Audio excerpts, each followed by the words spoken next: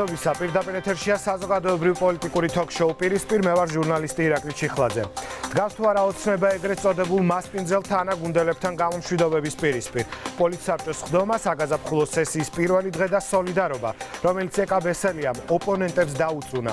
პარლამენტი 2012 წლის შემდეგ პირველად სრული დატვირთვით საქმიანობას დედაქალაქში იწყებს. ირაკლი კობახიძე იქნება გადაცემის პირველი სტუმარი და როგორც საკანონმდებლო დღის წესრიგს თანაგუნდელთა შორის არსებულ დაპირისპირებაზეც ვისაუბრებთ. რაც შეეხება გადაცემის მეორე ნაწილს, მე აქვე გეტყვით თემას. რეგისტრირებული დანაშაულის სტატისტიკა 53%-ით არის გაზრდილი. ხელისუფლების ოპონენტები პროცენტებს საგანგაშოდ მიიჩნევენ გახარიას უწყებაში დანაშაულის აღრიცხვიანობის გაუმჯობესებაზე და მიმართვიანობაზე აკეთებენ აქცენტს. კრიმინოგენულ ვითარებას ჩვენ ოპოზიციასთან ერთად შევაფასებთ. ოთო კახიძე და ირმა ინაშვილი უპასუხებენ ჩემს შეკითხვებს. გადაცემის ბოლოს შინაგან საქმეთა მინისტრის მოადგილე ნათია მეზრიშვილი შემოგვიერთება სტატისტიკა და საზოგადოების აღქმა იქნება გადაცემის დასკვნითი ნაწილის თემა. ვიყურებთ ტელეიმედზე და გვისმენთ რადიოიმედზე და დავიწყოთ ინტერვიუ პარლამენტის თავმჯდომარესთან ირაკლი კობახიძეა მაყურებლის პირისპირ. საღამშვიდობის მადლობა რომ იღებთ გადაცემაში მონაწილეობას. ერთ-ერთი ისტორიული დღე იყო, შეგვიძლია ასე ვთქვათ. თქვენ ანგარიში წარსდგექით დეპუტატების და საზოგადოების წინაშე და 2012 წლის შემდეგ პირველი შემთხვევა, როდესაც უკვე თბილისში ტარდება სხდომა და ერთი ადგილი აქვს საქართველოსში პარლამენტს, ეს არის დედაქალაქი და რუსთაველის გამზირი. მოკლედ, დღევანდელ ამბავზე ჩვენ ოდნავ მოგვიანებით ვისაუბროთ, მანამდე კი არანაკლებ აქტუალური საკითხით მინდა დავიწყო საუბარი, ეს არის პოლიცსაბჭოს განცხადება სასამართლო სისტემაზე, რომელიც დღეს გავრცელდა. არ დავუშვებთ საზოგადოებისა და ხელისუფლების ერთობლივი მონოპოლის, ანუ სასამართლო სისტემის გაჯანსაღების უსამართლო დისკრედიტაციას, აი ეს არის პათოსი, რომელიც წერია ამ განცხადებაში. განცხადებაში და იქ საუბარია 2012 წლიდან დღემდე არსებულ ვითარებაზე. თულია რაღაც ნაწილში აი ამ განცხადების კონკრეტულ მესიჯებს არ დავეთანხმოთ ვინაიდან სასამართლო რეფორმის კუთხით მართლაც გადაიდგა ნაბიჯები თუნდაც მაგალითად გამამართლებელი განაჩენების ნაწილში მაგრამ რატომ ვერ შეძელით გუნდის შიგნით ყველას დარწმუნება იმაში, რომ სწორი მიმართულებით ვითარდება და რეალურად დღეს საქმე გვაქვს სასამართლოს თვითგამორკვევის პროცესთან.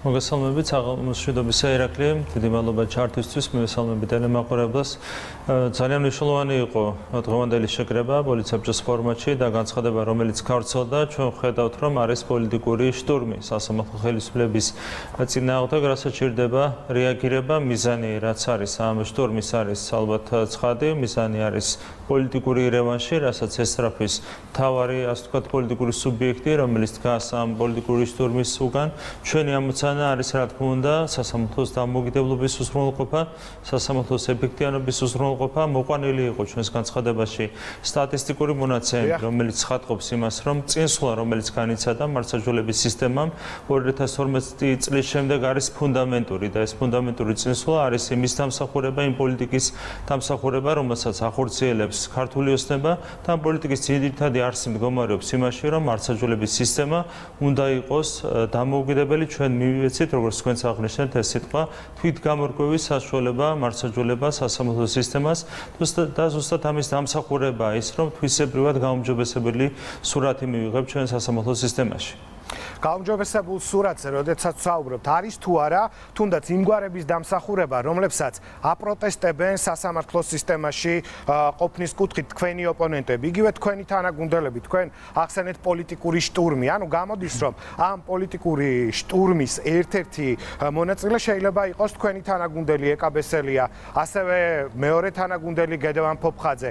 რეალურად ამ ადამიანების როლი დღევანდელ სასამართლო სისტემაში რამდენად დიდი, ანუ გულისხმობ 10 კაციან სიას, დაწუნებულ სიას მოსამართლეების. ჩვენ როდესაც ვთქვათ ხოლმე კითხვებს იმასთან დაკავშირებით რა პრეტენზიები არსებობს სასამართლოს სისტემის ფუნქციონირების მიმართ ვერასდროს ვერ საუბრობენ კონკრეტულ საქმეებზე, კონკრეტულ кейსებზე და აქცენტი მუდმივად გადადის სახელებზე და გვარებზე. მთავარი ჩვენთვის არის რა თქმა უნდა ადამიანის უფლებების დაცვა. ეს არის სასამართლოს მარცხეჯულების თავარი ფუნქცია და ჩვენთვის თავარია ის თუ როგორ მუშაობს სასამართლო. რამდენად არის უზრუნველყოფილი მაგალითად სამართლიანობა სისხლის სამართლის საქმეებში ხომ არ ხდება ისე რომ ვინმე შეეფარდება სასჯელი იმისათვის, რაც არ ჩაუდენიან, ხომ არ ხდება ქონებრივი დავების არასწორად გადაწყვეტა და ასე შემდეგ. ზუსტად ამაზე ვსაუბრობ და ზუსტად ამას ხატყობ სტატისტიკა, რომ ადამიანის უფლებები არის დაცული სასამართლო სისტემის მიერ, მართლმსაჯულების სისტემის მიერ. ჩვენთვის ეს არის თავი, რაც შეეხება შემადგენლობას. 2013 წელს იდგა ეს დილემა, თეორიულად მაინც იდგა ეს დილემა, რა შეიძლებოდა ჩვენ გავაკეთებინა. ერთი იყო სასამართლო კორპუსის სრული ჩანაცვლება, რაც გააკეთა თავის დროზე ნაცმოძრაობამ და ამის შედეგები როგორი იყო ჩვენ კარგად გვახსოვს 2004 წლის შემდეგ და მეორე ვარიანტი იყო იგივე შემადგენლობით პროცესის გაგრძელება, თუმცა სისტემის შინაარსობრივი განახლება და შინაარსობრივი ცვლილების უზრუნველყოფა. ჩვენ გავედით, წავედით ამ მეორე გზით. რაც ერთგვარი იძულებაც კი იყო, იმიტომ რომ გადაერთხელ გამიმერებ რაც არაერთხელ მithქვამს, ჩვენ რო აგვერჩია პირველი გზა, ანუ სასამართლო კორპუსის სრული ცვლილების გზა, ამას დაუპირისპირდებოდნენ პირველ რიგში ის ადამიანები, რომლებიც დღეს უპირისპირდებიან სასამართლო სისტემას და კონკრეტულ სახელებს და გვარებს. ამიტომ არჩევანიც არისო რეალურად არჩევანი მდგომარეობდა იმაში, რომ ჩვენ ვერ ვეხებოდით კონსტიტუციიდან გამომდინარე არსებულ შემადგენლობას და არსებული შემადგენლობის პირობებში ჩვენ გადავხედეთ პრინციპებს და ამ პრინციპების გადახედვის საფუძველზე მივიღეთ რადიკალურად განსხვავებული სურათი, რაც ნიშნავს იმათ, რომ იმას, რომ 10000ობით ადამიანის უფლებები არის მყარად დაცული მარცხაჯულების სისტემის მხრიდან. ბატონო ირაკლი, იუსტიციის უმაღლესი საბჭოს მდივნის განცხადება მინდა გავიხსენო, მაგალითად ის ამბობს, რომ სასამართლო არის ცალკე შტო და რომ მოსამართლეები არავის არ მისცემენ უფლებას ჩაერიონ სასამართლოს საქმიანობაში. აა პარალელურად თქვენი თანაგუნდელები ამბობენ, რომ მათთვის მიუღებელია კონკრეტული სახელები და გვარები. აა მაგრამ რეალურად რა შეუძლია საკანონმდებლო ორგანოს? აი ამ მიმართულებით მინდა მოვისმინოთ თქვენი პოზიცია. აა დაიწუნოთ და ჩააგდოთ კანდიდატურები თუ კრიტერიუმები გაწეროთ და ამით შემოიფურგ შემოიფარგლოთ თუ ეს ყველაფერი არის ნაწილობრივ ილუზია და გაცილებით უფრო მეტი შეუძლია. აი მაგალითად მოსამართლეებთან აა დასკნენ უმრავლესობის წარმომადგენლები და განიხილონ ის საკითხები, რომლებიც სწორედ უმრავლესობისთვის იქნება კომფორტული, თუნდაც სამართლებრივი კუთხით. როცა ამის საჭიროება შეიძლება დადგეს. ყველაფერი იქნება დამოკიდებული პროცესების განვითარებაზე. ჩვენ მუშაობთ ახლა პროცედურასა და კრიტერიუმებზე, რომლის საფუძველზეც უკვე საკმაოდ ხანგრძლივი პროცესის საფუძველზე შეირჩევიან კანდიდატები უზენაეს სასამართლოსთვის და ამის შემდეგ გაგრძელდება პროცესი საქართველოს პარლამენტში. პროცესი, რაც ჩვენ წარმოგვიდგენია, გაგრძელდება მინიმუმ ერთ თვეს და ახლობით ორ თვეს და შესაბამისად თითოეული ადამიანის დაკვირვების ქვეშ იქნება ეს პროცესი და ჩვენ შეგვიძლია სათანადო გადაწყვეტილების მიღება. დაუკვირდებით, როგორ წავა პროცესი იუსტიციის საბჭოში, როგორი სია იქნება წარმოქმნილი ამდენად სამართლიანი პროცესის საფუძველზე იქნება წარმოქმნილი კანდიდატები და ამის საფუძველზე უკვე ჩვენ განვახორციელებთ პროცესს, რომლის საფუძველზეც აირჩევიან უზენაესი სასამართლოს მოსამართლეები. ამის გარანტია არის საქართველოს პარლამენტი, ჩვენ მივიღებთ კანონს, რომელიც უზრუნველყოფს პროცესის ღიაობას და გამჭირვალობას და ასე წარიმართება პროცესი. აა აუცილებლად უნდა გკითხოთ დაპირისპირებაზე, რომელიც დაიწყო დეკემბრიდან. უпростоრად გახდა საჯარო, იმიტომ რომ მაგალითად თქვენი კოლეგები, თანაგუნდელები უпростоრად ამბობენ, რომ წელიწად ნახევრის წინ დაიწყო სასამართლოს სისტემაში არსებულ პროცესებზე საუბარი და გუნდში ყოველთვის იყო აზრთა სხვადასხვაობა და კამათი ამ თემაზე. არის თუ არა შესაძლებელი იმის ფონზე, რომ ყოველდღე მიმდინარეობს შეხვედრები, იმართება თათბირები, მიხვიდეთ ბოლოს და ბოლოს კონსენსუსამდე, ხედავთ რესურს პარტიაში რომ გუნდმა ერთიანობა შეინარჩუნოს და დანაკარგების გარეშე დასრულდეს პროცესი. ჩვენთვის თავარია რაციონალური გადაწყვეტილების მიღება, თავარია მარცხაჯულების დამოუკიდებლობა, სასამართლოს ეფექტიანობა, ამ პრინციპებით ვიმუშავებთ, რა თქმა უნდა, იგივე უმრავლესობის შიგნით, როცა გამართება შეკრებები, თავარია ყველა მიმშელოთ ლოგიკურად, რაციონალურად და ასე მივიღოთ გადაწყვეტილება. ასეთ შემთხვევაში შესაძლებელი იქნება გუნდის ერთიანობის შენარჩუნება, ეს არის ჩვენი სულისკვეთება, ჩვენ ვცდილობთ მაქსიმალურად შევინარჩუნოთ ერთიანობა და იმედი მაქვს, რომ ეს ასეც იქნება. თუმცა ალბათ საბოლოო ჯამში აი თქვენი საუბრიდან გამომდინარე გამოდის რომ არჩევანი გაკეთდება სასამართლო სისტემის სასარგებლოდ. სასამართლო სისტემა უნდა იყოს ეფექტური და თუ ამ ნაწილში გექნებათ გუნდს ერთი პოზიცია, რა თქმა უნდა გააგრძელებთ საქმიანობას. თუ არა და შესაძლოა დაიწყოს რღვევის პროცესი. არჩევანი გაგეთება სასამართლოს დამოუკიდებლობის და ეფექტიანობის სასარგებლოდ. ეს არის ჩვენი რაციონალური და პრაგმატული არჩევანი და ამით უნდა ვიხმძღანოთ თითოეულმა ჩვენგან. მაგ არ არის საუბარი სისტემაზე, ვიწრო გაგებით, კორპორაციული გაგებით, ჩვენთვის ამოცან არის სასამართლოს დამოუკიდებლობა და ზუსტად ამით უნდა ვიხმძღანოთ. აა თქვენ პოლიტიკური შტურმი აღნიშნეთ, რომელიც ხორცელდება სასამართლო სისტემაზეო. პოლიტიკური შტურმის აა წინა ფლანგზე ეკაბესელია დგას დღეს არა, რა თქმა უნდა, ეს უკაფიოდ იყო გამოკვეთილი ჩვენს განცხადებაში, თუ ვინ დგას შტორმის უკან, ეს არის პოლიტიკური შტორმი, რომელიც აქვს დაგეგმილი პოლიტიკური ძალას, რომელსაც უსს რევანში, რომელიც ვერ ეგუება იმას, რომ დაკარგა გავლენა სასამართლო სისტემაზე, მართლმსაჯულების სისტემაზე და თქვენ კარგად იცით, ვინ არის ეს პოლიტიკური ძალა, ვის ქონდა კონკრეტულად გავლენა სასამართლოზე 2012 წლამდე და ვისი დამსახურება ის დანაშაულები, რომელიც სისტემურად იყო განხორციელებული სასამართლო სისტემაში. ეს არის, რა თქმა უნდა, ნაცმოძრაობა, ეს არის პოლიტიკური ძალა, რომელსაც ქონდა ჩამოყალიბებული ის რეჟიმი, რომლის თანხის ქვეშაც უწევდა მუშაობა არა მარტო სასამართლო სისტემას, არამედ ყველა ინსტიტუტს, რომელიც მასში ფუნქციონირებდა სახელმწიფოში, მარცვლის, რა თქმა უნდა, სასამართლოს. დიახ. როდესაც წნეხზე ვსაუბრობთ, ერთ-ერთი პრეტენზია და არგუმენტი თუ რატომ აყენებენ კითხვის ნიშნის ქვეშ იმ სახელებს და გვარებს, რომლებიც იყო უდომო სამართლეთა სიაში, არის ეს, რომ ისინი იყვნენ წნეხის ქვეშ, ემორჩილებოდნენ წინა ხელისუფლებას და მიუხედავად იმისა, რომ დღეს სასამართლო მეტნაკლებად არის დამოუკიდებელი, საჭირო დროს ასეთივე წარმატებით მოხდება თანამშრომლობა სასამართლო სისტემის და ხელისუფლების. აი, ასეთ მოსაზრებას თქვენ რა არგუმენტს დაუპირისპირებთ? თავარი არის რეალობა. რეალობა არის ის, რომ წნეხი მოიხსნა 2012 წლის შემდეგ და ამის შედეგი არის ცხადზე უცხადესი. როცა ვსაუბრობ ჩვენ სტატისტიკაზე, რამდენჯერ გაიზარდა გამომართლებელი განაჩენების რაოდენობა, შემცირდა წინასწარი პატიმრობის მაჩვენებელი, გირავების და ჯარიმების მაჩვენებელი, სტრასბურგში გაგზავნილი სარჩელების რაოდენობა რამდენად შემცირდა, ეს ყველაფერი ცხადყოფს იმას, რომ წნეხი არის მოხსნილი, პოლიტიკური წნეხი და ეს არის ჩვენთვის თავარი მიღწევა და თავარი ფასეულობა და ღირებულება და ზუსტად ამ სულისკვეთებით უნდა გავაგრძელოთ მუშაობა. მუშაობა ეს არის სასამართლოს დამოუკიდებლობა და ამის შედეგია სწორედ ის სტატისტიკა რომელსაც ჩვენ საუბარი ქონდა ჩვენს განცხადებაში. კეთილი, მე უნდა შევეხო საკმაოდ მძიმე თემას, ეს ეხება ფარულ ჩანაწერს, ანუ ამ დავის პარალელურად, რასაც ჩვენ ბოლო პერიოდში ვხედავდით, გაჩნდა ფარული ჩანაწერი. თქვენი პოზიცია იყო შემდეგი: ამ საქმეს ჩავყვები ბოლომდე. ბუნებრივია, თქვენ გაქვთ საკმაოდ დიდი ბერკეტი, როგორც პარლამენტის თავმჯდომარეს, რომ დეტალურად მიიღოთ ინფორმაცია თუ როგორ მიმდინარეობს მდებარეობს გამოძიება და გავა თუ არა ბოლოს და ბოლოს შესაბამისი უצება დამკვეთზე ამ ბინზური კამპანიის ავტორზე. თორე ჩვენ ნახეთ, რომ გამარცხლებლები დაკავებულები არიან. აი, დღეს ამ წუთის მონაცემებით რა შეგიძლიათ გვითხრათ?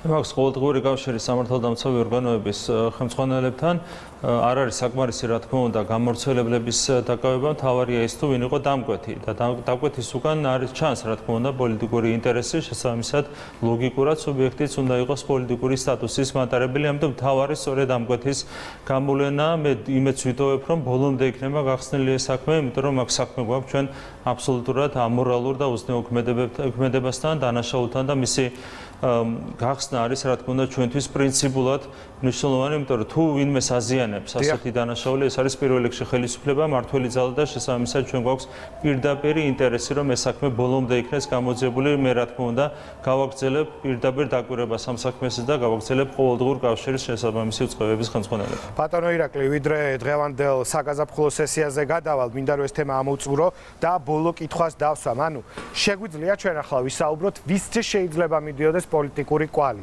ნუ არც ერთი ლოგიკით ეს არ ჭირდება, რა თქმა უნდა, მმართველ პარტიას, მაგრამ ის რომ აქცენტი კეთდება წინა ხელისუფლების დროს ჩაწერილ ათასობით პირად ცხოვრების ამსახოლ ფირზე და ასე შემდეგ ეს ვიცით, მაგრამ დღეს, როდესაც ვრცელდება ქართული ოცნების მმართველობის პირობებში, პასუხისმგებლობა თავიდან ბოლომდე აკისრია და ეს ტვირთი ქართულ ოცნებას. რა თქმა უნდა, ვიდრე გამოძება დადებს შედეგებს, მანამდე მხოლოდ ლოგიკა შეიძლება გავყვეთ და ლოგიკა მდგომარეობს რაში? პოლიტიკურად ზიანის მომტანი ეს ყველაფერი იყო. რა თქმა უნდა, პირველ რიგში ქართული ოსნებისთვის, ხელისუფლებისთვის, იმიტომ რომ როგორც თქვენ აღნიშნეთ, პირდაპირ თუ არაპირდაპირ ყოველთვის ხელისუფლებამდე მიდის ხოლმე ზიანი, რომელიც დაკავშირებულია ასეთი ჩანაწერების გავრცელებასთან და პოლიტიკურად მოგებული დარჩა შესაბამისად ჩვენი ოპონენტი. ეს არის ერთ-ერთი ლოგიკა, რომელიც შეგვიძლია აქამდე განმავითარო, თუმცა თავარია, რა თქმა უნდა, შედეგი, რომელსაც დადებს გამოძიება და ჩვენ უნდა დავალოდოთ გამოძიების შედეგს და იმედი მაქვს, რომ ბოლომდე იქნება გახსნილი ეს ძალიან მნიშვნელოვანი საქმე. აგმო დიდი ინტერესია საზოგადო საზოგადოების და ბუნებრივია ყველა ველოდებით. ახლა გადავიდეთ დღის მთავარ ამბავზე. დღეს თქვენი საუბრეთ პარლამენტის საზედამხედველო ფუნქციის გაზრდაზე. განსაკუთრებით, რა ნაწილში სჭირდება ახალ პარლამენტს მაკონტროლებელი ფუნქციის გაზრდა და როგორი იქნება თანამშრომლობის ფორმა ინსტიტუციებთან? ჩვენ გვქონდა დღეს ძალიან მნიშვნელოვანი დღე, შეიძლება ითქვას ისტორიული დღეც კი, ჩვენ დავამკვიდრეთ ახალი ტრადიცია, როდესაც პარლამენტის თავმჯდომარე წარსდგება ყოველწლიური ანგარიში საზოგადოების და პარლამენტის წევრების წინაშე. მადლობას გადავხდი მთავრობას, პრემიერ-მინისტრს, სარობის წევრებს, ქალაქის მერს, აგრებულოს თავმჯდომარეს დასრებისათვის, ესეც არის ძალიან მნიშვნელოვანი ტრადიციის, ასე ვთქვათ, დასაწყისი. ჩვენ გავაცანით საზოგადოებას ის თუ რასაკეთებდა პარლამენტი 2018 წლის განმავლობაში და ასევე ჩვენი გეგმა 2019 წლისათვის. რაც შეეხება ზედამხედველობას, ამ კუთხით იქნება გამორჩეული 2019 წელი, იმიტომ რომ ახალი კონსტიტუციით, ახალი რეგლამენტით ინერგება ახალი ინსტრუმენტები ზედამხედველობის კუთხით. ეს არის მაგალითად პრემიერ-მინისტრის ყოველწლიური მოხსენება, რომელთაც ის წარსდგება პარლამენტის წინაშე, ასევე ინტერპელაციის დახვეწილი პროცედურა, მინისტრის საათი და ასე შემდეგ, საგამოძიებო კომისიის შექმნილი შექმნის გამარტივებული უფლება არის უამრავი ახალი ინსტრუმენტი ჩადებული რეგლამენტში, რომელიც აძლიერებს პარლამენტის ინსტიტუციურად და კიდევ ერთხელ გავიმეორებ, რომ ეს წელი ზედამხედველობის კუთხით და ახალი ტრადიციების დანერგვის კუთხით იქნება ნამდვილად გამორჩეული საქართველოს პარლამენტში. ბატონო ირაკლი, დღეს თქვენ მოხსენებაში განაცხადეთ, რომ პარლამენტმა 2018 წელს 705 კანონი მიიღო თუ არ ვწდები, რომელიც იქნებოდა მოსახლეობაზე, იქნებოდა მოსახლეობაზე ზრუნვით და თითოეულ ოჯახში კეთილდღეობის შეტანის სულისკვეთებით. ნუ ასეთია თქვენი პოზიცია. მეორეს მხრივ, აუცილებლად უნდა შეგახსენოთ NDI ის ბოლო კვლევა, სადაც ნათქვამია, რომ პარლამენტის საქმიანობის სიკეთეებს უშუალოდ თავად მოქალაქეები ვერ გძნობდნენ.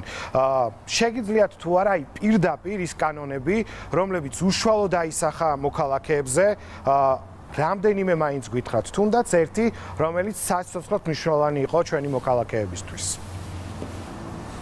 რა თქმა უნდა, პარლამენტის მუშაობა ზოგადად ნებისმიერ ქვეყანაში ნაკლებად არის ხელშესახების საზოგადოებისთვის, აქ არის საუბარი კანონების მიღებაზე, ზედამხედველობაზე, ეს არის ჩვენი ძირითადი ფუნქციები, თუმცა ამიტომ არის სწორედ მნიშვნელოვანი, რომ ჩვენ წარსდგეთ რეგულარული ანგარიში საზოგადოების წინაშე, იმისათვის, რომ უკეთ მოხდეს საზოგადოების ინფორმირება დაწყებული კონსტიტუციით, რომელიც უზრუნველყოფს იმას, რომ იქნება ყარი ჩვენი დემოკრატიული განვითარების პროცესი და ვერასდროს დაბრუნდები ჩვენ ასეთი ნების არსებობის შემთხვევაშიც კი ავტორიტარიზმში. ეს არის უკვე უდიდესი მიღწევა, რაც ხელშესახები იქნება გრძელვადიან პერსპექტივაში ჩვენი საზოგადოებისათვის. ჩვენ ქონდა უამრავი კანონპროექტი განხილული, მათ შორის სოციალური მიმართულებით, იცით რომ ჭარბვალიანობის კუთხით უამრავი ცვლილება განხორციელდა პარლამენტის თანამონაწილეობით, სიღარიბის დაძლევის კუთხით, სოციალური დახმარების კუთხით, ბიუჯეტში არის ასახული უამრავი ინიციატივა, რომელიც ადამიანების ცხოვრების პირობების გაუმჯობესებას ითვალისწინებს, ქონდა არაერთი ინიციატივა, რომელიც სწორედ ამას ემსახურება და ამ კუთხით გაგრძელდება ძალიან აქტიური მუშაობა. მე დეტალებში გავშალე ყველა ეს საკითხი და საზოგადოების ინფორმირებას უსულობ ჩვენ სხვა საშუალებებითაც, ვებგვერდის მეშვეობით და სხვა მედია საშუალებებით. აა პრინციპში დღეს თქვენ ეს აღნიშნეთ და მე კიდევ ერთხელ ვიტყვი, ავტორიტარიზმში არ დაბრუნების გარანტი იქნება ახალი კონსტიტუცია, რომელიც თქვენი პარლამენტის თავმჯდომარეობის დროს იქნება მიღებული. გისურვებთ წარმატებას, ხვალ არც ისე 7 დღე არის მაინც მართველი გუნდისთვის. შეგიძლიათ გითხრათ, როგორც ვიცით, ხვანდელ სხდომაზე უზენაეს სასამართლოს დაკომპლექტების პროცესთან დაკავშირებით უნდა იმსჯელოთ. მოსალოდნელია ხმაური თუ ეს ხნება მორიგი სამუშაო შეხვედრა. ჩვენ გვექნება სამუშაო შეხვედრა და იმედი გვაქვს რომ ყველაფერი ჩაივლის კონსტრუქციულ და მშვიდ გარემოში. ირაკლი კობახიძე პარლამენტის თავმჯდომარე იყო მაყურებლის პირისპირ და ჩვენ გავაგზავნოთ შემდეგ თემაზე საუბარი. რეგისტრირებული დანაშაულის სტატისტიკა 53%-ით გაიზარდა. ხელისუფლების ოპონენტები პროცენტებს საგანგაშოს უწოდებენ. გახარიას უწყებაში დანაშაულის აღრიცხვიანობის გაუმჯობესებაზე და მიმართვიანობაზე საუბრობენ. კრიმინოლოგიურ ვითარებაში ჩვენ ოპოზიციასთან ერთად შევაფასებთ ოთო კახიძე და ირმა ინაშვილი უპასუხებენ ჩემს შეკითხვებს გადაცემის ბოლოს შინაგან საქმეთა მინისტრის მოადგილე ნათია მეზრიშვილს ჩართავ პირდაპირ ეთერში ასევე პირდაპირი ჩართვა იგეგმება 112-დან შეგახსენებთ გვიყურებთ ტელეიმედზე და გვისმენთ რადიო იმედზე როგორია ქვეყანაში კრიმინოგენული მდგომარეობა, სტატისტიკა და საზოგადოების აღქმა. ძმამ ძმა მოკლა და ადგილიდან მიიმალა. პოლიციამ ქვეყნის სხვადასხვა ქალაქში ერთდროულად 16 მოქალაქე დააპატიმრა. დაკავებული დედისთვის ბრალი ჯერ არ წარუდგენიათ. როგორია მძიმე დანაშაულის სტატისტიკა? გაიზარდა თუ არა ქურდობის, ოჯახური ძალადობის და მოზარდების მიერ ჩადენილი დანაშაულის მაჩვენებელი? რამდენად ეფექტიანია ბრძოლა ნარკომოვაჭრეებთან? ხელისუფლების ოპონენტები კრიმინალისტ ზრდაზე, გახარიას უცხებაში დანაშაულის აღრიცხვიანობის გაუმჯობესებაზე, საზოგადოებაში გაზრდილ ნდობასა და მიმართვიანობაზე საუბრობენ. კრიმინალი ციფრებში, რა დანაშაული გაიზარდა და რა ტიპის შემცირდა. პოლიტიკური დებატები და შინაგან საქმეთა სამინისტრო არგუმენტირებული პასუხებით. გადაცემაში პირისპირ. ნუ პოლიტიკური დებატების რა გითხრათ, მაგრამ პოლიტიკოსები ნამდვილად შეაფასებენ ქვეყანაში არსებულ კრიმინოგენულ ვითარებას. მანამდე მეტი თვალსაჩინოებისთვის მინდა გიჩვენოთ ვიზუალური მასალა თუ რა ვითარება იყო 2017 წელს და რა ვითარება 2018 წელს, ანუ იმ სტატისტიკის მიხედვით, რომელიც შინაგან საქმეთა სამინისტრომ გამოაქვეყნა. რეგისტრირებული დანაშაულის სტატისტიკის საერთო რაოდენობა ასეთია. 2017 წელს რეგისტრირებულია 37944 4 აქედან გახსნილია 53.24%. რაც შეეხება 2018 წელს რეგისტრირებულია 58412, აქედან გახსნილია 34.64%. ანუ ამ მონაცემები ჩვენ შეგიძლია ვთქვათ, რომ რეგისტრირებული დანაშაულის სტატისტიკა არის გაზრდილი. თუ რატომ ამას ახსნის გადაცემის ბოლოს შინაგან საქმეთა მინისტრის მოადგილე, მანამდე მოვისმენთ პოლიტიკური შე შეფასებები ოთო კახიძე ევროპული საქართველო გვერდება პირდაპირ ეთერში და სწორედ მასთან დავიწყებ ამ თემაზე საუბარს. გმადლობთ რომ ხართ გადაცემაში. დღეს შინაგან საქმეთა სამინისტრო გვეუბნება რომ ქვეყანაში რეგისტრირებული დანაშაულის სტატისტიკა არის გაზრდილი, თუმცა ეს გამოწვეულია იმით რომ უწყებამ დანაშაულის რეალური აღრიცხვა დაიწყო და მიმართვიანობა გაიზარდა. არგუმენტირებულია ეს თქვენთვის? კი ბატონო, მოგესალმებით. მადლობა მოწვევისთვის. მივესალმები ტელემაყურებელს. აა, ნუ ჯერ აუცილებლად უნდა აღინიშნოს ის, რომ შინაგან საქმეთა სამინისტრომ აა ბატონი გახარიას დანიშნვის შემდეგ ნამდვილად დაიწყო აა მეტი აღრიცხვიანობა, ანუ გადადგა ნაბიჯები რეალურად, რომ დანაშაულის რეგისტრაცია მომხდარიყო, რაცაც არაკეთებდნენ მისი წინამორბედები. თუმცა ისიც უნდა აღინიშნოს, რომ მისი წინამორბედები ასევე ქართული ოცნების გუნდის წევრები იყვნენ, ხომ? როგორც ღებრიშვილი, ისე ჭიკაიძე და მანამდე ღარიბაშვილი, რომელმაც 2013 წელს დაიწყო სწორედ სტატისტიკის გაყალბება. სტატისტიკის გაყალბება დაჭირდათ იმის გამო, რომ ჩემი აზრით სრულიად გაუაზრებელი და მოუმზადებელი ფართომასშტაბიანი ამნისტიის შედეგად დაიწყო ბუნებრივია კრიმინალის მკვეთრი ზრდა. რამაც ასახვალპოვა სტატისტიკაში და როდესაც ნახეს, რომ 2012 წლის მონაცემებს მნიშვნელოვნად აღემატებოდა 13-ის მონაცემები, დაიწყეს უკვე სტატისტიკით манипуლირება. ეს შემდგომ ღარიბაშვილმა გაყალბება დაიწყო, ხოლო მღებრიშვილმა საერთოდ დახურა, ანუ სტატისტიკას აღარც აქვეყნებდა. ამიტომ 2018 წლის სტატისტიკა ამ ხრივ ფაქტორი როგორც აღრიცხვიანობის ზრდა და დანაშაულის რეგისტრაცია ნამდვილად არის და მე ობიექტურად მინდა ეს აღვნიშნო.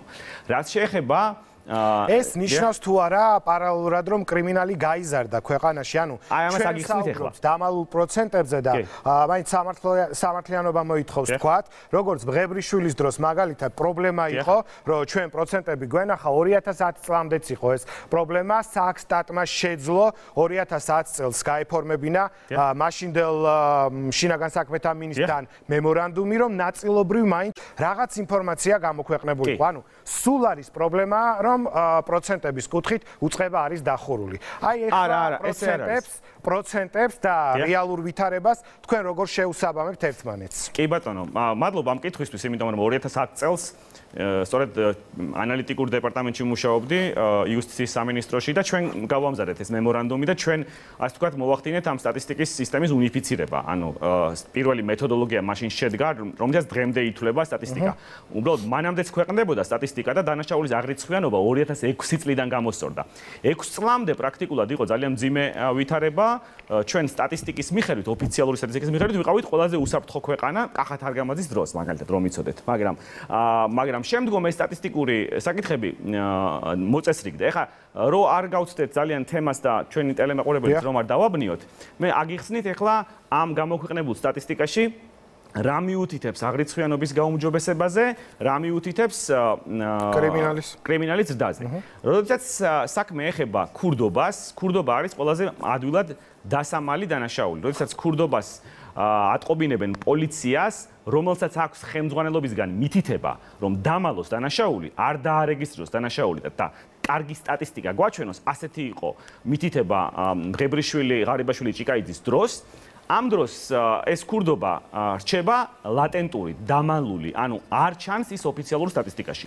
როცა შემდგომ უკვე გადაიდმება ნაბიჯი და არის მითითება პოლიციაზე, რომ დაარეგისტრირდა ყველა დანაშაული, მას შორის ქურდობაც, ეს ავტომატურად იწვევს ქურდობის როგორც რეგისტრირებული დანაშაულის ზრდას. ანუ ამიტომ გარკვეული პროცენტი ამ ზრდაში, მე ზუსტად ვერ გეტყვით რამდენია ეს პროცენტი, მაგრამ ნამდვილად უკავშირდება სტატისტიკის აღრიცხვას, ანუ დანაშაულის რეგისტრაციას. რაც შეეხება მეორე ნაწილს, ოჯახში ძალადობის ნაწილი, მაგალითად, როდესაც ხდება საზოგადოების ცნობიერების ამაღლება, და არის მოწოდება ძალადობის მსხვერპლებისთვის რომ მათ ითანამშრომლონ პოლიციასთან და დარეკონ ეს ზრდის მიმართვიანობას უკვე ოჯახში ძალადობის შემთხვევების და ამ შემთხვევაშიც ეს ზრდა შეიძლება განვიხილოთ მისი ნაწილი მაინც რომ მიმართვიანობა გაიზრდა და ამან განაპირობა ზრდა მაგრამ ძალიან ნიშანდობლივია რომ გამოქვეყნებულ სტატისტიკურ მონაცემებში ფიქსირდება ზრდა სიცოცხლის წინააღმდეგ მიმართულ დანაშაულებში ეს არ არის ის დანაშაული, რომელიც იმალება, რომელიც რეგისტრაციას არ ექვემდებარება, ასევე არ არის ლატენტური დანაშაული ქურდობა და ძარცვა ბინაში ან საცავში შეღწევით. ამ დროს ადამიანი მაინც ატყობინებს პოლიციას და ითხოვს რეაგირებას და ეს არ არის დაფარული დანაშაული. ამიტომ ჩვენ გამოქვეყნებული სტატისტიკა მიგვანიშნებს, რომ კი გაუმჯობესებული აღრიცხვიანობა ამას ადასტურებს უბრალოდ ის მარტივი ფაქტი რომ 53%-იანი ზრდა 53%-იანი მაჩვენებელი გახსნის არ არსებობს. ესე ესე ეფექტურად ვერავინ მუშაობს ამიტომ რეალისტურია 30%-იანი დაახლოებით გახსნის მაჩვენებელი. ეს უკვე აჩვენებს რომ აღრიცხვიანობა მიდის ნორმალურად უკეთესად ვიდრე წინამორბედების დროს, მაგრამ ძალიან საგანგაშო ზრდა გვაქვს ჩვენ, როგორც სიცოცხლის წინააღმდეგ მიმართულ დანაშაულებში, ისე ქურდობა ძარცვას ეხება ეს ბინაში შეღწევით და ეს არის საგანგაშო ვითარება. ამიტომ ჩვენ ახლა პოლიტიკურ შეფასებას ახლა მე მაქსიმალურად ობიექტურად ავსახე სურათი პოლიტიკურ შეფასებას რაც შეეხება.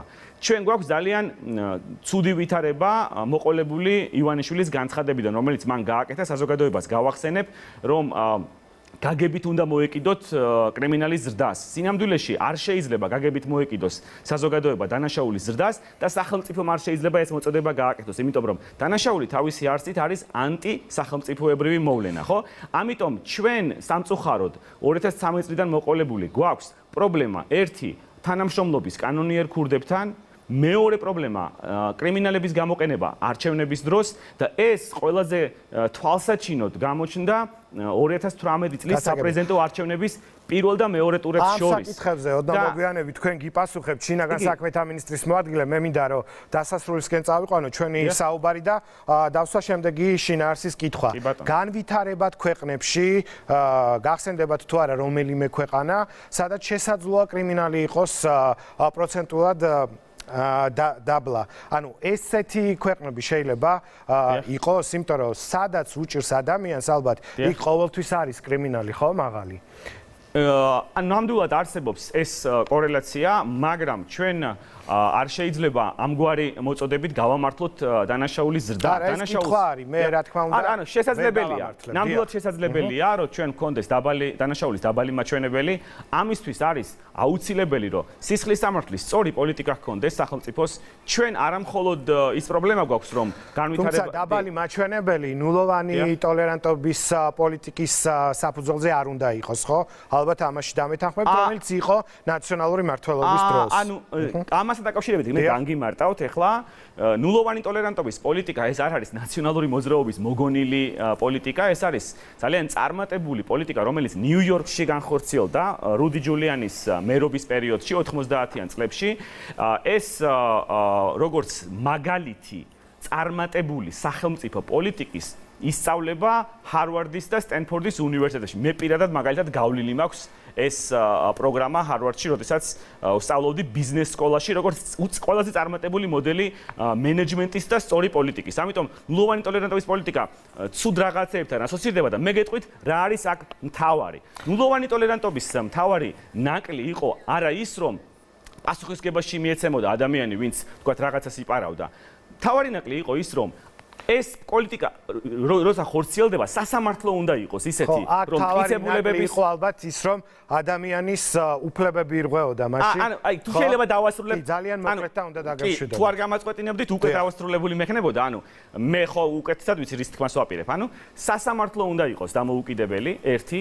მეორე ნულოვანი ტოლერანტობის პოლიტიკა უნდა ვრცელდებოდეს ყველა დანაშაულზე და წინა ხელისუფლების პრობლემა ის იყო, რომ ნულოვანი ტოლერანტობის პოლიტიკა არ არ ვრცელდებოდა, მაგალითად სასჯელ აღსრულების სისტემის თანამშრომლებზე, მაგალითად კანონდამრღვევ პოლიციელებზე. წვილმან დანაშაულზე იყო, ხო და ანუ ანუ შერჩევითობა, შერჩევითი არ უნდა იყოს. პოლიტიკა და სისხლის სამართლის პოლიტიკა უნდა ეხებოდეს თუ დანაშაულის წინააღმდეგ შეუწყნარებლობა, ყველა დანაშაულს უნდა ეხებოდეს და არა შერჩევით. და აუცილებლად უნდა აღინიშნოს ის რაც მე აღნიშნე მანამდე სანამ გამაწყვეტინებდით რომ არჩევნების დროს კრიმინალური სამყაროს გამოყენება, მათი ჩართვა, ეს აუცილებლად იწევს ასე ვთქვათ დავალდებულებას მათ მათ წინაშე ვალშია ხო ხელისუფლება. და ამის შედეგებს სამწუხაროდ იმკის საზოგადოება.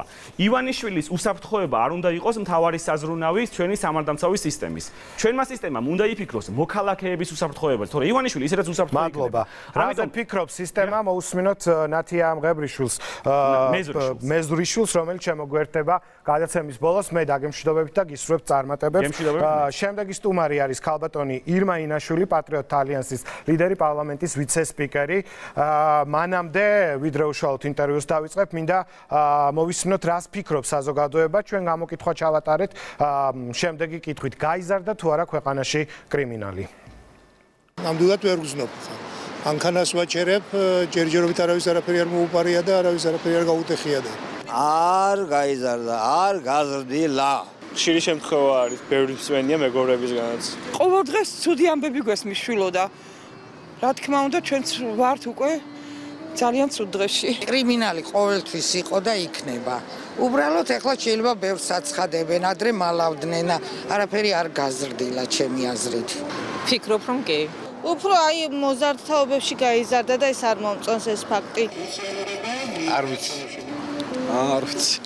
მე ვცხოვრობ მესამე მარკეტილის მესამე მასივში და ყოველ დღე არის ბალკონის ქვემოთ დანის ტრიალი. რუსთავიდან ვერსი ზოგადად და რუსთავში კრიმინალის ერთ არის და თბილისში ძალიან შეიძლება ჩამოდიო რომ რავი არ მგონია. წესეთ არ უნდა გაზრდილიყო. არ მგონია. სახელმწიფო სადაც არსებობს კრიმინალის სუხელგანა. ასე რომ კრიმინალი რო არ არსებობს, ისეთი ქვეყანა არაა. ერთია ციფრები და მეორეა რას გრძნობენ თავად მოქალაქეები.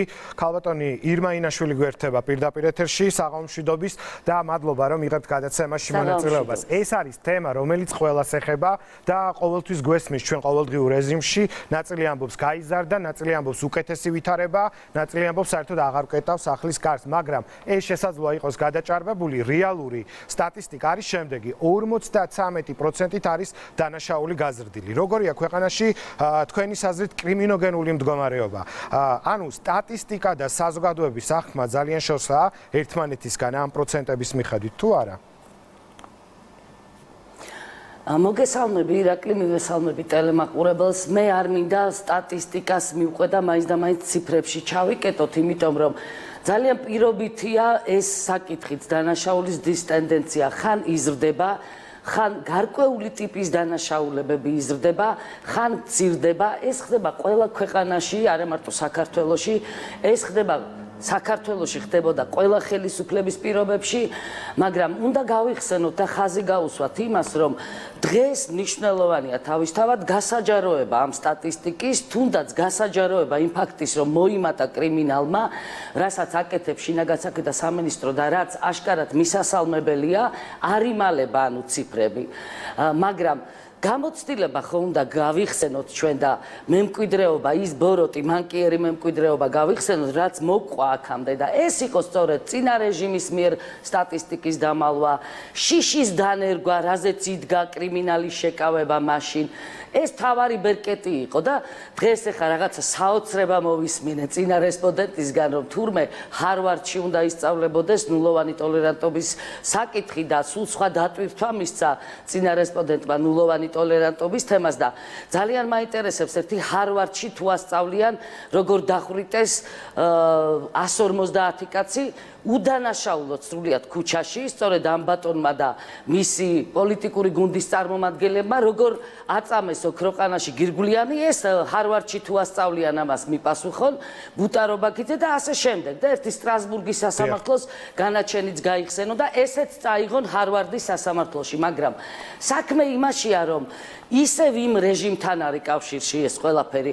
არ არის არაფერი მიზეშედეგობრივი კავშირის გარეშე. მაშინ შიშის გამო და იმის გამო რომ არაადეკვატური სასჯელები იყო და ვიხსენებ უამრავ ფაქტს ახლა, როდესაც 2 კილოგრამი კიტრის ქურდობისთვის 12 წელი მიუსაჯეს ადამიანს და არაადეკვატური იყო ეს ყველაფერი, გამიზნული იყო საზოგადოების დაშინებაზე, დაჭერაზე, ასე ვთქვათ, და ესე კბილებით ეჭირათ მათ სიტუაცია, ძალადობით ეჭირათ ყველაფერი. არის ხელში, მაინც მალავდნენ კრიმინოგენულ სიტუაციასთან დაკავშირებით სტატისტიკას. ეს უნდა გავწიოთ გვერდზე ჩვენ. არც ერთი ნორმალური სახელმწიფო არ მიდის ამ გზით და სწორედ ამიტომ 2012 წელს ქართულმა ხალხმა სულ სხვა არჩევანი გააკეთა, თუმცა ეს იმედები ქართულმა ოცნებამ გაგვიწრუა ჩვენ. მეც და ქართულ ხალხსაც, იმიტომ რომ კრიმინოგენული ვითარება ზოგადად გაუარესება ამისი კავშირშია სოციალურ საკითხებთან და სოციალურ მდგომარეობასთან ქვეყანაში. კავშირშია განათლების საკითხთან. შეიძლება ვინმეს ეს პარადოქსულად მოეჩვენოს, მაგრამ გონიერ ადამიანებს ნამდვილად არ მოეჩვენებათ პარადოქსულად და დღეს ჩვენ ვხედავთ, რომ არის რაღაცა სასწაულის სიხარული იმასთან დაკავშირებით, რომ თურმე გამოცდები მოიხსნება სასკოლო და თელ რიგ საგნებში გამოცდებს აღარ ჩააბარებენ მოსწავლეები და ეს თურმე კარგია. მარტივ რაღაცას ვამბობ, აი გეოგრაფია არ ეცოდინებათ, არ ეცოდინებათ სად არის პარიზი და სად არის ტოკიო, მაგრამ არაუშავს იქნებიან საქართველოს მოქალაქეები. პრიორიტეტები არა განათლების ჩვენ სისტემას, ესეც კავშირშია მოზარდებში დანაშაულის დასთან და მე რა პრიორიტეტსაც ვხედავ, ეს არის დაცემა განათლების დონის, მიზანმიმართული დაწევა განათლების დონის, რაც დანაშაულია და ამაზე მე სხვა გადაცემებში ვილაპარაკებ. უნდა ითქვას ასევე, რომ სოციალური მდგომარეობა აშკარად არის გასაუმჯობესებელი ქვეყანაში და ესეც კავშირშია კრიმინოგენულ ვითარებასთან და თავარი რა მინდა ვთქვა ეხლა ისევ ჩამომერთმევა იმაში, რომ 9 წელზე ლაპარაკობ, მე 9 წელზეც ვლაპარაკობ და 7 წელზეც უკვე და დღესაც ეს განცხადება გავაკეთე პარლამენტში გააკეთეთ და ორივეს უთხარით, როცა მოხვალთ ხელისუფლებაში, მოსთხოვთ ყველას პასუხს თქვენ 9 წელი აღნიშნეთ და როცა წეხან ჩამოთვალეთ კონკრეტული საქმეები, მკვლელობები, მახსოვს ერთი ამბავი. 2012 წლამდე იყო, როდესაც კახეთში მწყემსი დააკავეს და იძულებით აღიარებინეს არჩადენილი მკვლელობა და 2 წლის შემდეგ დაბრუნდა ადამიანი, რომელიც თითქოს მკვდარი იყო და მკვლელობა დაბრალდა მწყეს. ნუ, აი ასეთ ვითარებაში გვიწევდა მაშინ ცხოვრება. ნამდვილად ირაკლი მე კიდე გამახსენდა ხაშურში შვილიშვილმა ძროხა გაყიდა და ბაბუამ ეს არიწოდა და რა არაადეკვატური სასჯელი ქონდა მისჯილი 7 წელი თუ 10 წელი აი ეს მემკვიდრეობა ხვდა ჩვენ წილა და ყველაფერი ილექება საზოგადოებაში ილექება მოზარდთაობაში ილექება იმიტომ ამახვილებ ყურადღებას იმ წინა რეჟიმზე მე რომ კავშირშია ეს ყველაფერი. 300.000 კაცი გაასამართლეს აი დღეს მათი შვილები არიან რომლებიც დგანან საფრთხის წინაშე წავიდნენ კრიმინალის გზით თუ არ წავიდნენ. უამრავი ადამიანი მოკლეს მიწები გააჩუქეს ქვეყნის მიწები. მილიონები მოიპარეს სახელმწიფო ბიუჯეტიდან იგივე უგულავა 48 მილიონი მოიპარა და ვინმე უკან დააბრუნებინა ეს 48 მილიონი? დააბრუნებინა კი არა ეხა ოცნებაზე გადავალ ამ 7 წელზე გადასარევად კომფორტულად შეირწყეს ეს პოლიტიკური გუნდი კრიმინალები კრიმინალზე ხო საუბრობ პარლამენტში შედან ყველაზე დიდი კრიმინალები და ჩვენ რა მაგალითს ვაძლევთ მომავალ თაობას იგივე მოზარდებს და რა არის ჩვენი პრიორიტეტი? ღირებულება ჩვენი სახელმწიფოსი რა არის რომ ვაჩვენოთ ეს კაცი დამნაშავე იყო ჩადიოდა დანაშაულს ყველაფერი შერჩა და დღეს ისევ პარლამენტიდან, ტელეეთერებიდან იგივე ხალხი ეს კრიმინალები საუბრობენ იმაზე, რომ თურმე როგორ გაუარეს და კრიმინოგენული ვითარება და ასე შემდეგ და ადამიანის უფლებები როგორ ილახება და არ ვიცი კიდე რაზე.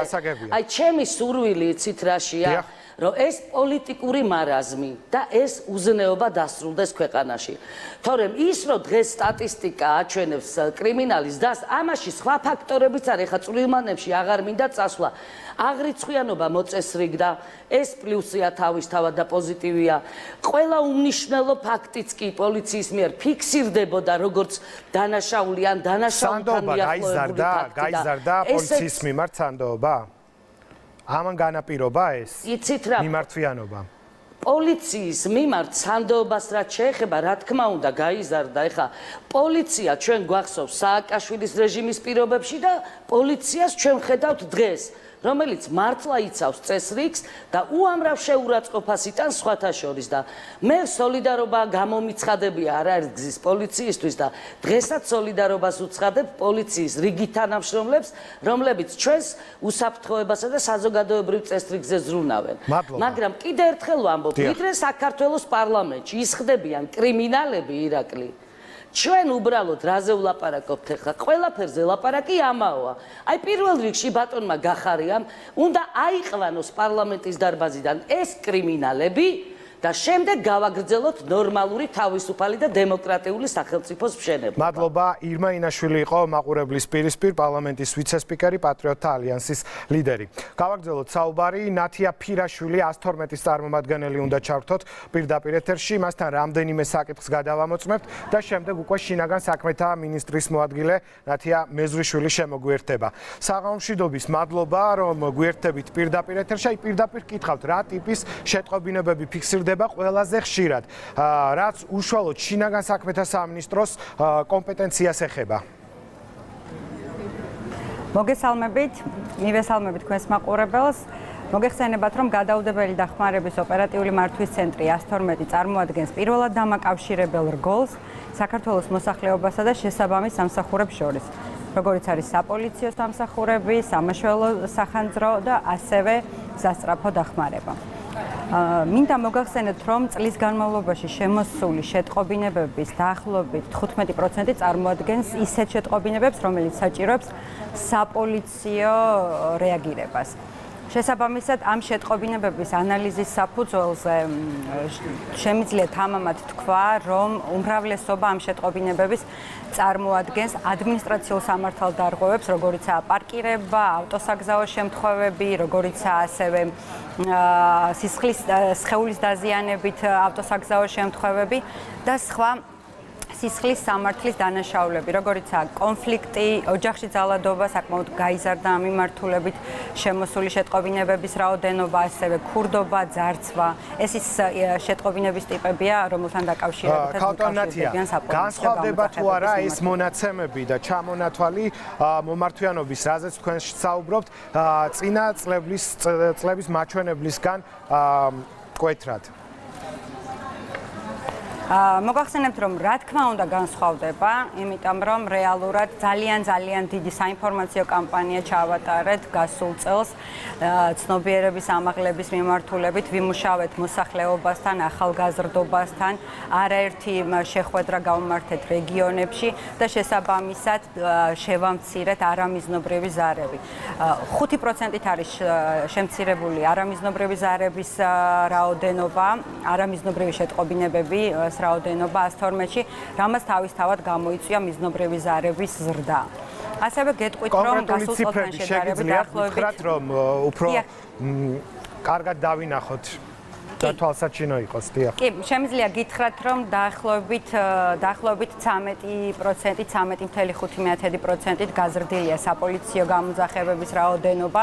გასულ წელთან შედარებით, ასევე გაიზარდა გამოძახებები ისეთ სისხლის სამართლებრივ დანაშაულებზე, როგორიც არის ოჯახში ძალადობა, კონფლიქტი, გენდერული ნიშნით ძალადობა, ასევე გაიზარდა მომართვიანობა რასობრივი მიმართულებით, ანუ რასობრივი დისკრიმინაციის მიმართულებით დანაშაულებზე, რაც ასევე ვფიქრობ, რომ გამოწეული არის და ერთ-ერთი დიდი დამსახურება ამ სახის შეტყობინებების პროცენტული მაჩვენებლების ზრდის შეიძლება იყოს სწორედ ის რომ შინაგან საქმეთა სამინისტროში შეიქმნა ადამიანის უფლებათა დაცვის დეპარტამენტი მოგეხსენებათ და ამ დეპარტამენტის აქტიური მუშაობით მოსახლეობისთვის გახდა ცნობილი მსგავსი შინაარსის დანაშაულებებზე ინფორმაცია და შესაბამისად მოსახლეობამ რაც უფრო მეტი ინფორმაცია მიიღო ამ დანაშაულებებზე დაიწყო უფრო მეტად შეტყობინება მიღების განხორციელება მიმართულებით და გაიზარდა შესაბამისად მადლობა ნათია ფირალიშვილი 112-ის წარმომადგენელი იყო პირდაპირ ეთერში. მოკლედ ის მონაცემები რომელიც მოგვაწოდა პირდაპირ ადასტურებს იმას რომ მიმართვიანობა და ნდობა არის გაზრდილი შესაბამისი უწყების მიმართ. მე ახლა სტატისტიკას კიდევ ერთხელ შეგახსენებთ და ასევე საზოგადოების განწყობასაც შემოგთავაზებთ და შემდეგ უკვე შემოგვერთდება შინაგან საქმეთა მინისტრის მოადგილე.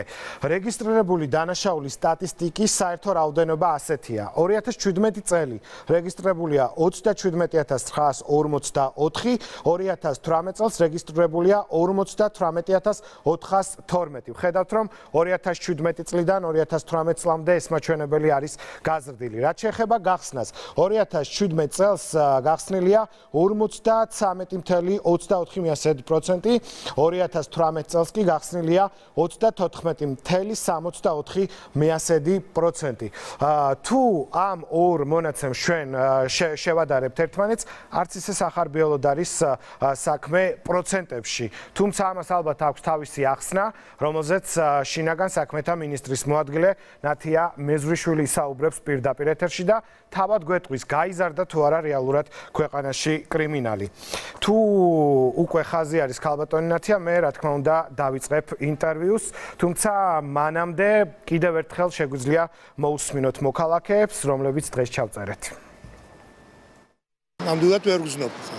ანქანას ვაჩერებ, ჯერჯერობით არავის არაფერი არ მოუპარია და არავის არაფერი არ გაუტეხია და არ გაიზარდა, არ გაზრდილა. ხშირი შემთხვევა არის, ბევრი მსმენია მეგობრებისგანაც. ყოველ დღეს ცუდი ამბები გვესმის შვილო და რა თქმა უნდა ჩვენც ვართ უკვე ძალიან ცუდ დღეში. კრიმინალი ყოველთვის იყო და იქნება. უბრალოდ ეხლა შეიძლება ბევრს აცხადებენ, ადრე მალავდნენ, არაფერი არ გაზრდილა ჩემი აზრით. ფიქრობ რომ კი. უფრო აი მოზარდთაობებში გაიზარდა და ეს არ მომწონს ეს ფაქტი. არ ვიცი. არ ვიცი. მე ვცხოვრობ მესამე ვარკეთილის მესამე მასივში და ყოველ დღე არის ბალკონის ქვემოთ დანის ტრიალი. რუსთავიდან ვერსი ზოგადად და რუსთავში კრიმინალის ერთად და თბილისში ძალიან შეიძლება ჩამოდიო, ამიტომ რავი, არ მგონია. წესეთ არ უნდა გაზრდილიყო. არ მგონია. სახელმწიფო სადაც არსებობს კრიმინალის სუხელგანა. ასე რომ კრიმინალი რო არ არსებობს, ისეთი ქვეყანა არაა. აი ეს იყოს მოსაზრება რომელიც ჩვენმა მოქალაქეებმა გაგვეცნეს.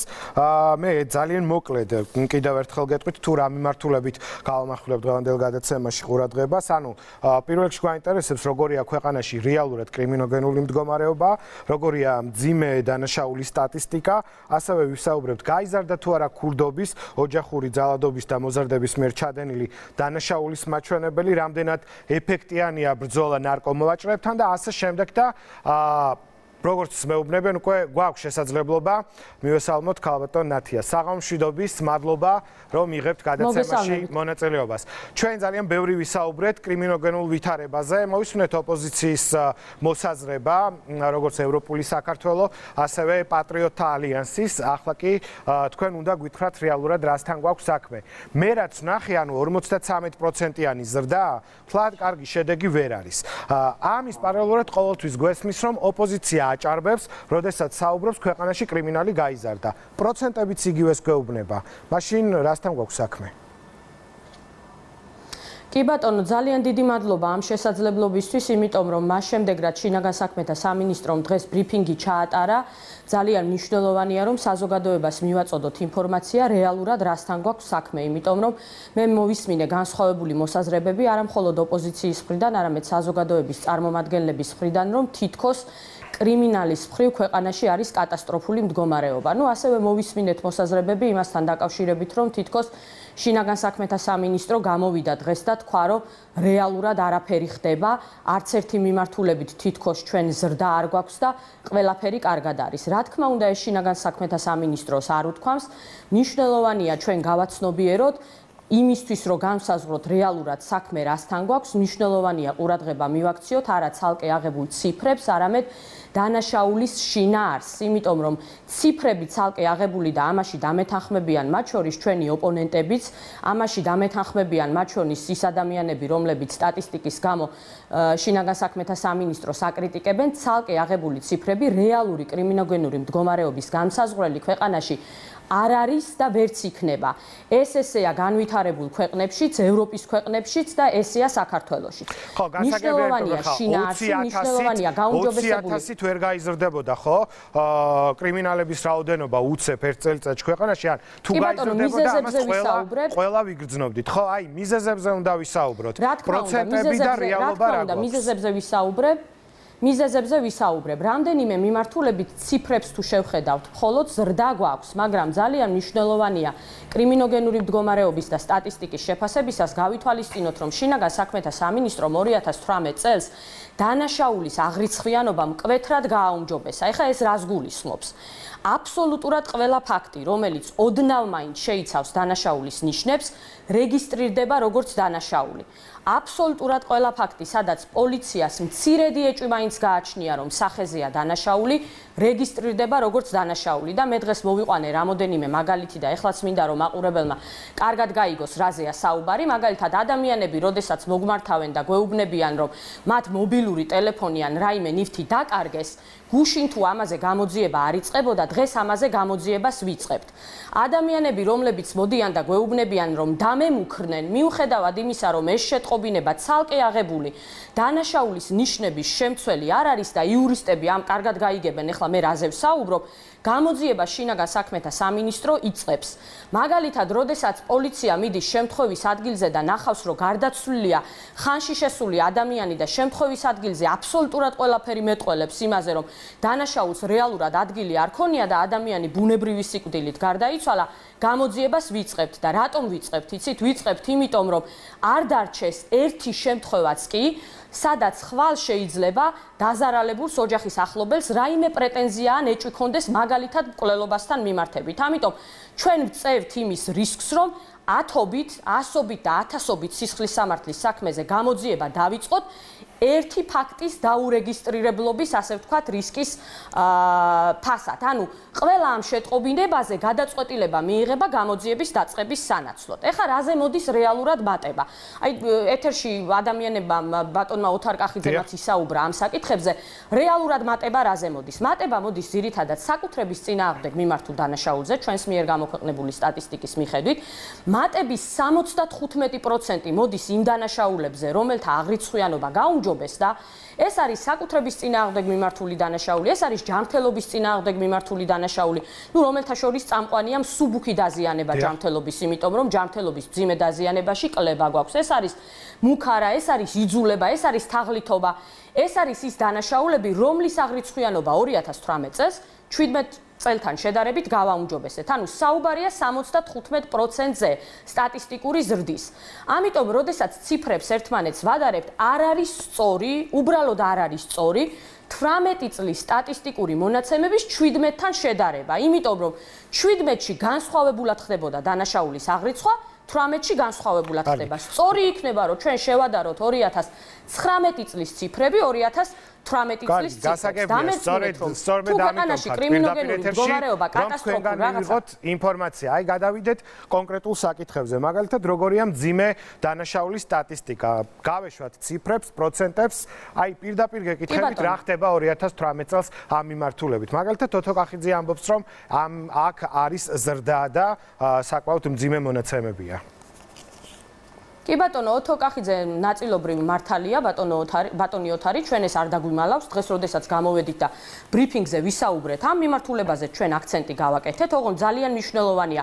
ბატონმა ოთარ აღნიშნა რომ სიცოცხლის წინააღმდეგ მიმართულ დანაშაულებში გვაქვს მატება მნიშვნელოვანი მატება და ეს ასე არ არის იმიტომ რომ კვლელობაში მაგალითად არაფერი შეცვლილა 2018-ში 17 წელთან შედარებით. უფრო მეტიც დამამძიმებელ გარემოებებში მკვლელობა დაკლებულია. ყაჩაღობა რომელიც ასევე მძიმე დანაშაულია დაკლებულია. ჯანმრთელობის მძიმე დაზიანება რომელიც ასევე მძიმე დანაშაულია დაკლებულია. და როდესაც ბატონმა ოთარმა ისაუბრა სიცოცხლის წინააღმდეგ მიმართულ დანაშაულებში მატებაზე რაზე მოდის იცით მატება? ეს არის თვითკვლელობის ან თვითკვლელობის ცდამდე მიყვანა 115 მუხლის სისხლის სამართლის კოდექსის, რასთან დაკავშირებითაც წეგან მოვიყვანე ძალიან ისეთი მაგალითი, თვალსაჩინო მაგალითი, გარდაცვალების ყველა შემთხვევაზე აბსოლუტურად ჩვენ რომ გამოძიებას ვიწყებთ. აი ამაზე მოდის 150%-იანი მატება. ეხლა რა თქმა უნდა, ამას თუ ჩვენ მხედველობაში არ მივიღებთ, შინაარს არ გავითვალისწინებს თითოეული მუხლისა სისხლის სამართლის კოდექსის. ნუ რა თქმა უნდა, ესე მარტივია უკვე საუბარი, რომ აი ციფრებში, ციფრებზე დაყნობით მხოლოდ მატებაა და კატასტროფული მდგომარეობა მდგომარეობა კრიმინოგენური მდგომარეობის თვალსაზრისით. ეხლა რაც შეეხება რაც შეეხება ცალკეული კატეგორიის დანაშაულებს, სადაც ასე ასევე მატება სხვადასხვა ფაქტორებით არის გამოწვეული. აი მაგალითად ოჯახში ძალადობა ავიღოთ. 122%-იანი მატებაა. ადევნება ავიღოთ, რომელიც ახალი მუხლია. რომელშიც მატება 6ჯერ არის დანაშაულის რეგისტრაციის მაჩვენებელი გაზრდილი, რაც ნიშნავს იმას, რომ ადამიანები სამართალდამცავ ორგანოებს სულ უფრო ხშირად მომართავენ, რაც ნიშნავს იმას, რომ მათ შორის თქვენი წყალობით, მედია საშუალებების წყალობით, სამოქალაქო საზოგადოების აქტიურობით, უწყებების აქტიურობით გაიზარდა ცნობიერება გარკვეულ დანაშაულებთან მიმართებით და ადამიანები სულ უფრო ხშირად მოგმართავენ, რაც კარგია, ამაში ცუდი არაფერია. კარგია ესეთი დანაშაულები აღირიცხება, რეგისტრირდება, გამოძიებულია და დამნაშავეების დაკავება ხდება. არსებობს ასევე კიდევ ერთი კატეგორია დანაშაულების, სადაც მატება გვაქვს და ეს არის რეალურად დღეს არა მხოლოდ შინაგან საქმეთა სამინისტროს გამოწვევა, ამიტომ არ მივიღებთ შენიშვნებს იმასთან დაკავშირებით, რომ აი თითქოს ჩვენ გამოვედით და ვთქვით, რომ თითქოს მატება ციფრებში მხოლოდ და მხოლოდ გაუმჯობესებული აღრიცხვიანობის გამო მოხდა. გაუმჯობესებული აღრიცხვიანობის გამო მოხდა მნიშვნელოვან ნაწილში მატება, თუმცა გვაქვს გარკვეული ნაწილი, სადაც მატება მაგალითად გამოძალვის მიმართულებით მატება, მაგალითად მატება ხულიგნობაში, მაგალითად მატება ქურდული სამყაროს წევრობაში და კანონიერ ქურდობაში, ცივი იარაღის ტარებაში. ეს არის ის კატეგორია დანაშაულების, სადაც მატება აღრიცხვიანობის გაუმჯობესებით არ არის გამოწვეული, სადაც მატება მე პირდაპირ გეტყვით, ჩემ ჩემს პირად მოსაზრებას ამ საკითხთან დაკავშირებით. მე ვფიქრობ, რომ ეს არის ლიბერალური სისხლის სამართლის პოლიტიკის, უკიდურესად ლიბერალური სისხლის სამართლის პოლიტიკის შედეგი, ოღონდ ისეთი ლიბერალური სისხლის სამართლის პოლიტიკის შედეგი, რასაც ბოლო წლების განმავლობაში ცალკეული უწყებების მიმართულებით ხარისხობრივი გაუმჯობესება საქმიანობის არ მოყოლია. ნუ ამის ნათელი მაგალითია, მაგალითად ის მდგომარეობა, რაც ჩვენ გვაქვს დღეს არასრულწლოვანთა მხრიდან დანაშაულის ჩადენის მიმართულებით, ანუ ერთი მხრივ პოლიტიკა გახდა ლიბერალური, სახელმწიფოს მიდგომები გახდა ლიბერალური, მაგრამ მეორე მხარეს ის რაც ხარისხობრივად უნდა გაუნჯობესებულიყო, არ თუ ვერ გაუნჯობესდა. ამან გამოიწვია ეს ყველაფერი. ეხლა რა უნდა გააკეთოს სახელმწიფომ? შინაგან საქმეთა სამინისტროს აქვს თავისი მოქმედების ფარგლები, მანდატი, ხო? შინაგან საქმეთა სამინისტრო არის მართლმსაჯულების სისტემის ერთიანი სისტემის, აი ამ ერთიანი ჯაჭვის ერთი შემადგენელი ნაწილი. ჩვენ ყავს პროკურატურა სამინისტროს შემდეგ, ჩვენ ყავს სასამართლო პროკურატურის შემდეგ და ჩვენ ყავს აი ეს ბოლორგოლი სასჯელახსრულების სისტემა. თუ ეს ჯაჭვი არ გაერთიანდა და სინქრონულად ამ ჯაჭვმა არ იმუშავა, ამ დანაშაულის წინააღმდეგ ეფექტიანი ბრძოლა, რაც მე ჩამოვთვალე ეს გამოძალვა, ქურდული სამყაროს წევრობა, ცივი იარაღის ტარება, ჯანმრთელობის დაზიანებები, აი ეს ეგრეთ წოდებული დაჭრები, ნუ უბრალოდ იქნება წარმატებული ბრძოლა შეუძლებელი. ეხლა ჩვენ რა გავაკეთეთ? 2018 წელს არაერთი საკანონმდებლო ინიციატივით მიუმართეთ პარლამენტს, მოგეხსენებათ მთელი რიგი ქმედებები, რომელიც არ იყო დასჯადი, დასჯადი გავხადეთ, პრაქტიკაში რეალურად აღვასრულეთ ეს ყველაფერი და რაოდენობა გაიზარდა, ხუთჯერ გაიზარდა ქურდული სამყაროს წევრობის და კანონიერი ქურდობისთვის დაკავებული პირების რაოდენობა. რამოდენიმე დღის წინ თავრობას მიუმართეთ უკვე საკანონმდებლო ინიციატივით, რომლითაც ქუჩური გარჩევების კრიმინალიზებას ვახდენთ, ანუ საკანონმდებლო ნაწილში გარკვეული ნაბიჯები გადავდგით, მუშაობთ ასევე პრევენციული მიმართულებით და ეხლა ძალიან დიდი მნიშვნელობა აქვს იმას, აი ეს ჯაჭვი მართსაჯულების სისტემის ამ ყველაფერს როგორ აუწყობს? ფერს, იმიტომ რომ მნიშვნელოვანია თითოეული უწყება ამ ყველაფერში თავისი როლი გააცნობიერებს და ერთი საკითხი ძალიან მნიშვნელოვანი, როცა კრიმინალის წინააღმდეგ და აი ამ კატეგორიის დანაშაულების წინააღმდეგ ბრძოლაზე ვსაუბრობთ, რაც ეხლა რა მაგალითებიც მოვიყვანე, საზოგადოება ითხოვს ჩვენგან კაცრ მიდგომებს. საზოგადოება ითხოვს დანაშაულთან შეურიგებელ ბრძოლას, მაგრამ ეს ისეთი კატეგორიის დანაშაულებია, სადაც მხოლოდ ჩვენი ძალის ხმევა უბრალოდ უბრალოდ საკმარისი არ არის. საზოგადოება რომელიც ამას ითხოვს, ხა ცოტა უხეშად შეიძლება გამომდის, მაგრამ ნება უნდა იბოძოს საზოგადოების თითოეულმა წევრმა და გამოძიებასთან უნდა ითანამშრომლოს, იმიტომ რომ შემწყნარებული დამოკიდებულება ესეთი კატეგორიის დანაშაულების მიმართ. აი ესეთი რაღაცა მიდგომები, ადამიანები, რომლებიც არ მოდიან, ჩვენებას არ გვაძლევენ, გამოძიებასთან არ თანამშრომლობენ, დანაშაულის შესახებ არ გვატყობინებენ, წარმატებული სახელმწიფოს ეს ბრძოლა ვერ იქნება კრიმინალთა თუ საზოგადოებამ ამაში გამოძიებასთან არ თანამშრომლობის ძიმე ფაქტები გვახსოვს ჩვენ. ქატონათია, ქატონათია. დავასრულო. ზარდია სტატისტიკა, ანუ არ თანამშრომლობის. იმიტომ რომ გვახსოვს ძალიან ძიმე ფაქტები. ჩვენ როდესაც არ ითანამშრომლეს გამოძიებასთან, პოლიციასთან, კონკრეტულმა ადამიანებმა. აი დღეს რა რეალობაა მიმართულებით? ისევ პრობლემად რჩება ეს თუ გაცლებით უკეთესი მდგომარეობა გვაქვს? სტატისტიკა ამ ხრივ მზარდია, რეალურად დანაშაულის დაფარვის და შეუტყობინებლობის მუხლები თამამად შემიძლია ვქვა, რომ ჩვენ ავამოქმედეთ, აი მას შემდეგ რაც ხორავას ქუჩაზე ეს ტრაგიკული შემთხვევა დატრიალდა, მას შემდეგ პრაქტიკაში არაერთი არაერთი მაგალითი გქონდა, როდესაც დანაშაულის შეუტყობინებლობისთვის და დაფარვისთვის ცალკეული პირები დავაკავეთ, ამ ხრივ 2018 წელს 17 წელთან შედარებით რეალურად ზრდა გვაქვს. მინდა რომ აქვე შევეხო რომ ამ დროში ჩავეტიო ძალიან მნიშვნელოვანია ეს არასრულწლოვნების თემა და გაზრდილი მაჩვენებელი ქურდობების იმიტომ რომ ჩვენ ვისაუბრეთ რომ რეალურად ქურდობა ეს არის ისეთი კატეგორიის დანაშაული რომლის აღრიცხვიანობაც 2018 წელს გავაუმჯობესეთ მაგრამ ნუ ხდება ხო ეს ყოველდღიურად ადამიანები ამას გრძნობენ ხა მოვიტყუებით ეს ეს ამაზე რო არ ვისაუბროთ ამასაც ხო თავისი მიზეზები აქვს. დიახ ეს ყველგან ხდება, გასაგებია, ახაც ხდება სოციალური ფონი, თქვათ ერთი მიზეზი, ა პრევენციაზე ვმუშაობთ, კამერების რაოდენობა გავზარდეთ მთელი საქართველოს მასშტაბით. რომ გაორმაგება იგეგმება ფაქტიურად 19-ში, 18-თან შედარებით და 18-ში გავზარდეთ ასევე 17 წელთან შედარებით, რაც პრევენციას ამ დანაშაულისას ხელს შეუწყობს და ქურდობების მნიშვნელოვანი ნაწილი ჩადენილია არასრულწლოვნების მიერ. ესენი არიან 14-დან 18 წლამდე პირები და 14 წლამდე პირები. მე ხშირად მესმის ძალიან ხშირად მოთხოვნა, რომ ჩვენ ამ მიმართულებით კანონი გავამკაცროთ. და მინდა ამ ეთერით ვისარგებლო და ცალსახად ვთქვა. ამ მიმართულებით კანონის გამკაცრება, არასრულწლოვნების გაშვება ციხეში ძალიან მარტივია. ამის გაკეთება შეიძლება ერთ დღეში.